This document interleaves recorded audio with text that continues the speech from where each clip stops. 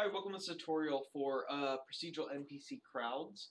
I'm going to show you how to set up custom characters or skeletal meshes, such as this, um, instead of the instead of the mannequin that it comes with, which is this right here. Okay, so assuming you have your characters imported, which I've already done, um, so they're all right here, and you have an animation blueprint, I'm ignore this. It just looks weird because of this rig. Um, but and you have an animation blueprint. I'm just going to use a single animation of walking, um, but you'll probably want to use an animation blueprint. What you want to do, once you have those two things, the models and the animations, you want to go in and you want to go to the folder that you have the blueprint in for the character. Um, I recommend moving the demo content if you're using it to your actual content because if I push an update, all of these are going to be reset. So make sure you move it to your actual content, but for the purposes of this tutorial, I'm just going to leave it in here.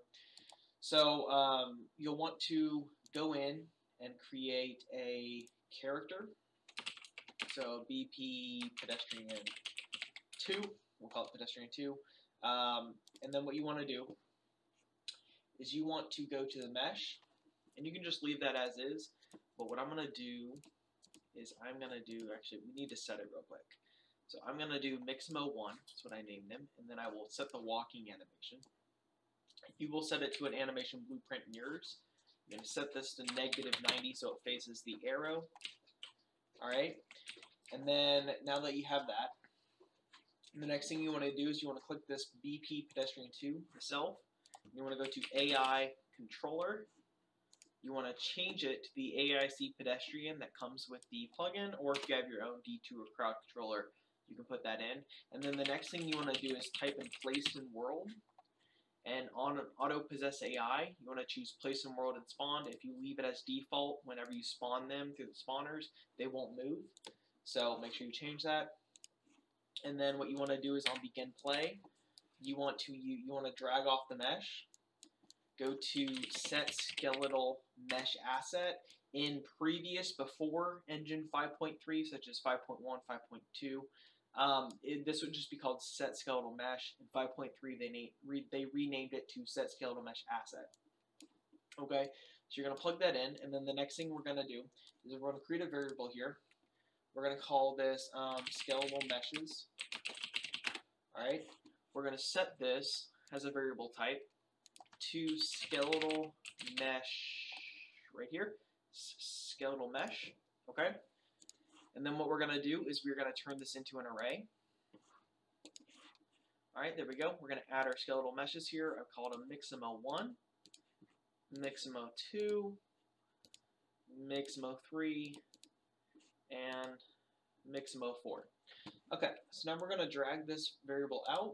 We're going to use the random array item uh, uh, node, sorry, I was thinking variable, node. You're going to plug this in.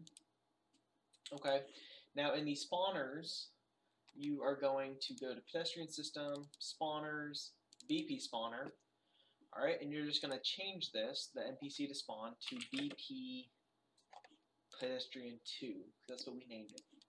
Okay, and now if we load in, we'll have all these different um, characters. You can use this with metahumans and stuff.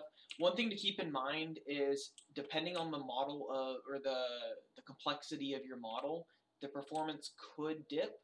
So just keep that in mind. Metahumans are typically pretty heavy. I don't know what the polygon counts on these are, um, but you could just usually you can just set up LODs and stuff like that. Um, I believe Unreal is working on Nanite for skeletal meshes, but yeah, uh, that's how you set up custom characters.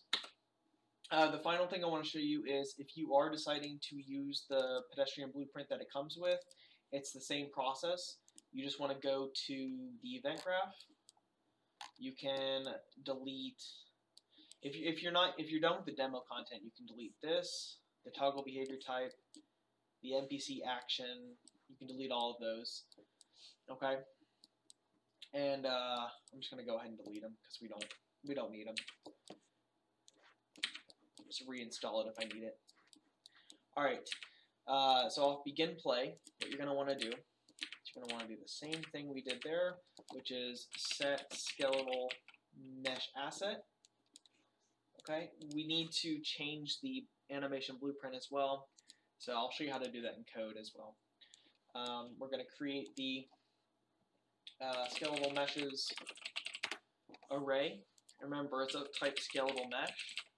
You just type in skeletal mesh and you do the object reference. Okay, we'll make it an array like the other one. We'll add some skeletal meshes. And this is the easiest way and cleanest way I've found to um, set up the randomization of the meshes.